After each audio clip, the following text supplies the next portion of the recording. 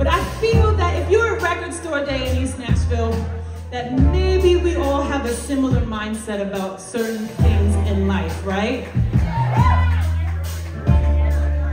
So the first song we played today was called Cruel, Cruel World. And I wrote that song, here, take it down just a little bit, take it down a little bit.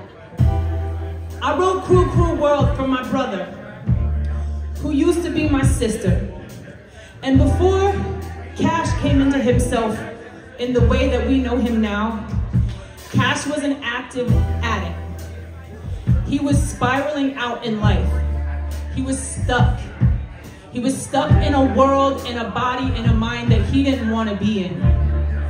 And right now, we live in a state where motherfuckers can't wait to make people like my brother feel less than every chance they get.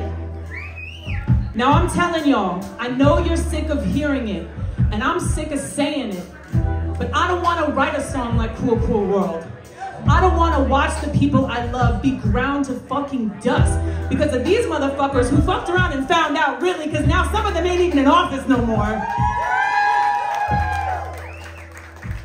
You have got to register to vote.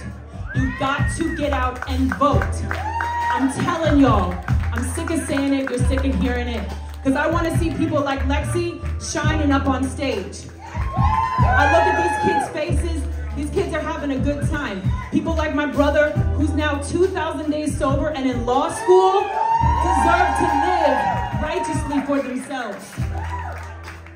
So if y'all need help registering or figuring out if you're registered, come to me, hit me up on the internet. I got you, okay? This song is called I Used to Dream.